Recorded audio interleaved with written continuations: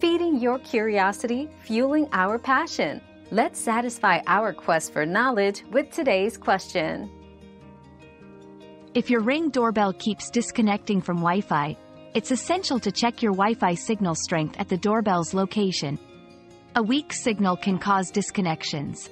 Try moving your router closer to the Ring doorbell or use a Wi-Fi extender to improve signal strength.